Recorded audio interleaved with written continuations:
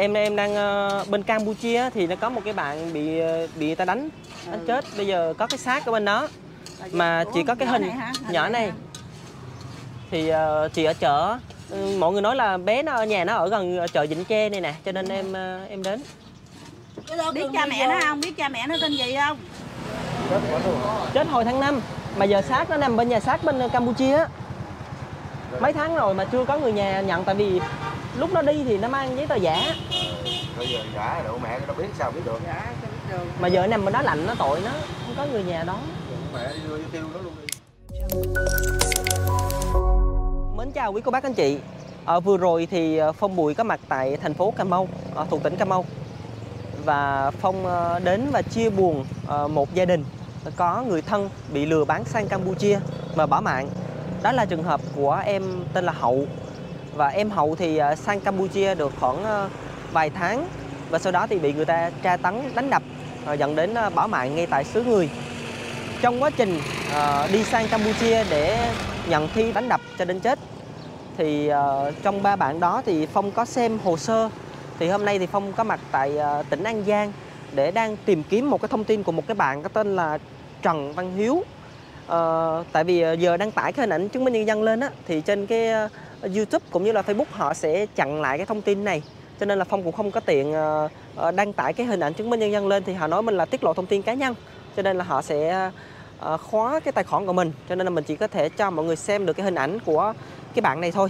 Và mình, trong cái giấy tờ chứng minh nhân dân của bạn bảo mạng bên Campuchia là bạn sinh vào ngày 9 tháng 4 năm 2001 tên là Trần Văn Hiếu và khi mà bạn đi ờ, sang Cam á, thì bạn làm một cái chứng minh nhân dân giả với một cái địa chỉ giả đó là ấp Hóa Hùng thị trấn Châu An thuộc huyện Châu Phú tỉnh An Giang.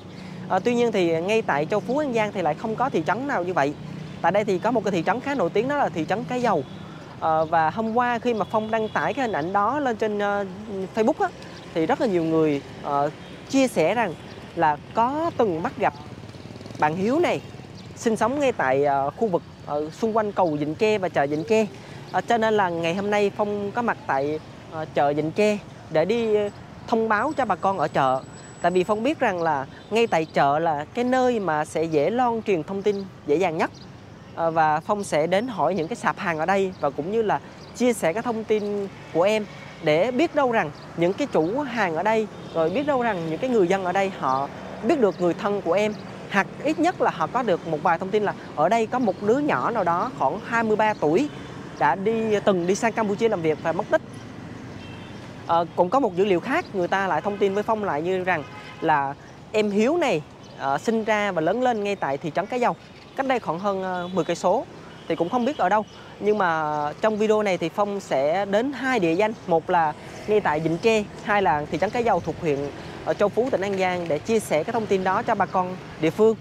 À, cùng lúc mà Phong đang có mặt ở đây á thì Phong có nhờ một người bạn của Phong đang uh, chạy sang uh, các cái xã thuộc huyện Châu Phú này để cung cấp cho chính quyền địa phương để nhờ họ trích lục lại hồ sơ uh, và tìm kiếm những cái thông tin hữu ích nhất. Liên quan thử là có phải là bạn này đang sinh sống tại An Giang hay không. À, tóm lại là hiện giờ dữ liệu thông tin nó đang rất là ít và bây giờ thì Phong sẽ gọi đến cái người bạn này để hỏi thằng là sẽ đến cái ủy ban để cung cấp thông tin cho chính quyền địa phương trích lục hồ sơ như thế nào nha.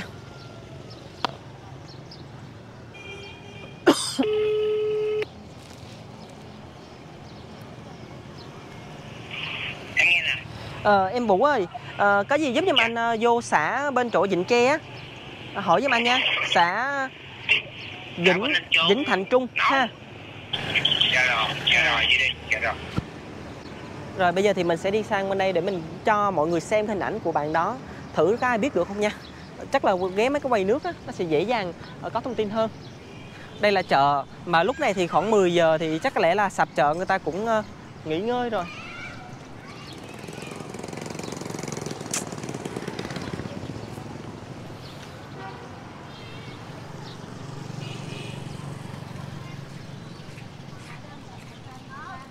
Để mình ờ, qua mấy cái sạp.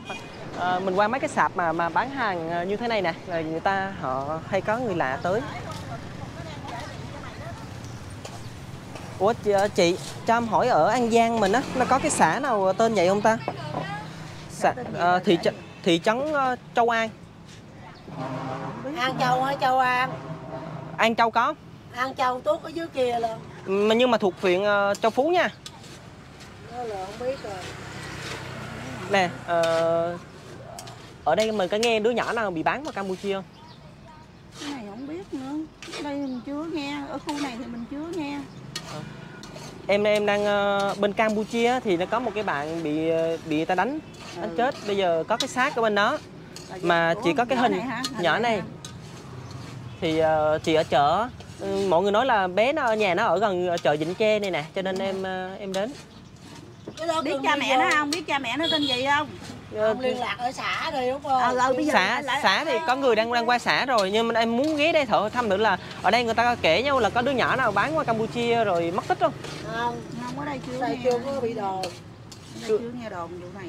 Mà gần đây có nghe đồn ai gia đình ai có con bị bán qua đó? Không vậy để em xuống dưới chợ xuống hỏi Ờ, thăm ờ, được. đúng rồi đi qua dài xã thì dài. có có rồi nhưng mà xã cũng đang tìm kiếm. Ừ bây giờ cưng đi dài dài vô kinh đi cái này giống như trong cái là ấp đi ấp Ừ. đi cho nó chắc ăn ấp Ừ. nó liên lạc nhiều Châu. Châu An hả? An Châu là nằm ở huyện Đâu, đưa- đưa coi coi. làm Châu An đâu. Có ai đâu. sinh năm ờ, 2001 là mới 23 tuổi à? Bình mỹ.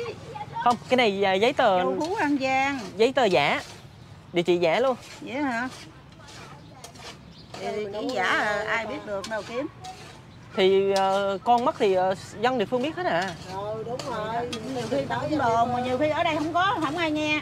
Nhưng mà cưng muốn nghe muốn biết chính xác lại chỗ mấy thằng xe đo ôm đó là đó đó là nó nó là người nắm tin tức luôn á. À đúng á đúng ngay rồi chỗ nè xe ở đây nè ở đây nè mấy người đậu đậu đúng rồi đúng rồi. cảm ơn chị ha cà lý á cà lý á.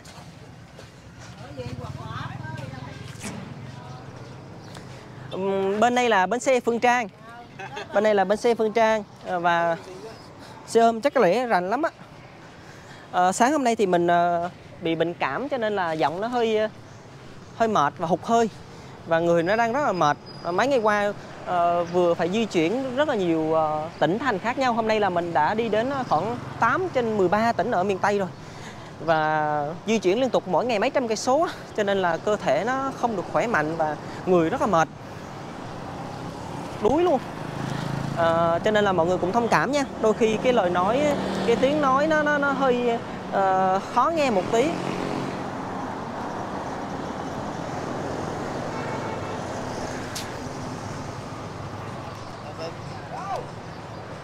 Để hỏi thăm thử xíu. Chú cho con hỏi thăm ở mình đây có trường hợp nào nhất nào bị bán ở Campuchia? không? Vì em ờ, có người nhà bên Cam á nói là có nhỏ nào 21 tuổi lên đây nè nó nó chết bên đó giờ xác nằm bên đó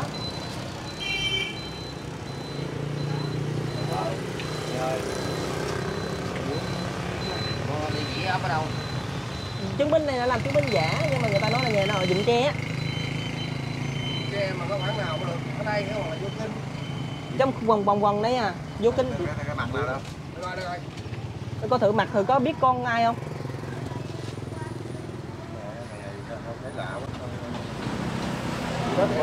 chết hồi tháng 5 mà giờ xác nó nằm bên nhà xác bên ờ, Campuchia á mấy tháng rồi mà chưa có người nhà nhận, tại vì lúc nó đi thì nó mang giấy tờ giả Bây giờ giả đủ mẹ nó biết sao biết được.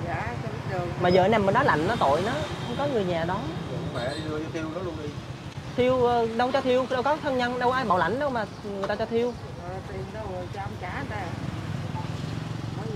Biết đâu. ông mới số tiền trả người ta chứ sao? Ở đây hồi giờ có nào bị bán qua đó bị lừa qua đó? Không nghe. Ha. Có giấy tờ rồi sao không biết mà tìm. Tại vì ờ, có xác á, nó kẹp theo hình đó. Anh Nè,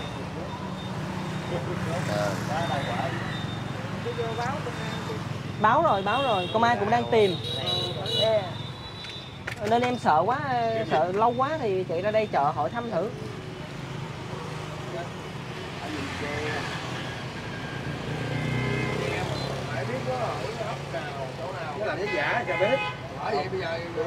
Bây giờ xác định là an giang rồi đó.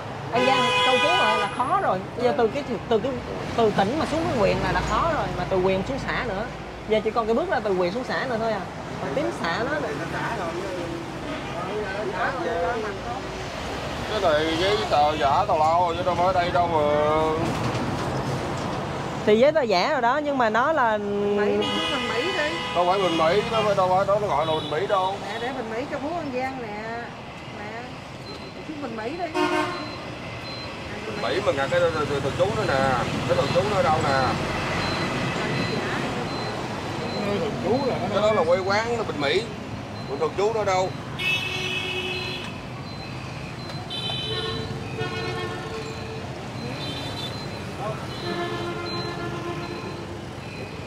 Chứng minh này cũng sai nữa nè chứng minh giả.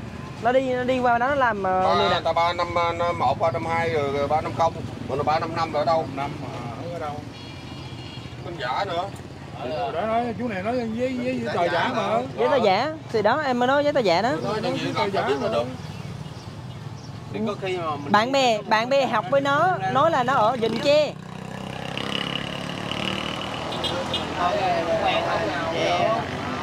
đây định tre vô nhậm ở trong mấy xã trong kinh trong rồi An Giang mình là biển số chứng minh nhân dân đầu là ba năm không không hả? Ba năm không ba năm một ba năm năm hả? Ba năm ba năm năm năm rồi sáu bảy tám năm. Mà tôi mình này đâu có nội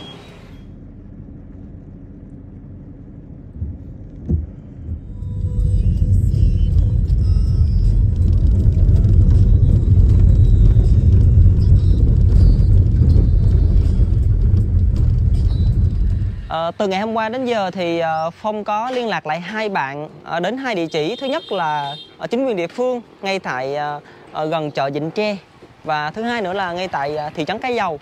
Nhưng mà từ hôm qua đến giờ thì sau khi mà trích lục ấy, thì vẫn chưa có thông tin mới. Và hiện giờ thì ờ, vẫn không biết rằng là cái hình ảnh đó, cái khuôn mặt của bạn thanh niên đó ờ, tên thật là gì và địa chỉ ở đâu. Ờ, hy vọng rằng ờ, qua cái đoạn clip này ờ, mọi người ờ, có được một chút dữ liệu hoặc có một chút thông tin có thể cung cấp giùm cho Phong. Ờ, tại vì bạn này đã mất bên Campuchia hồi tháng 5 và đến bây giờ đã là tháng 9 4 tháng nằm lạnh lẽo ngay tại một ngôi chùa, một cái nhà xác ngay tại Campuchia. Thì như vậy thì cũng rất là tội.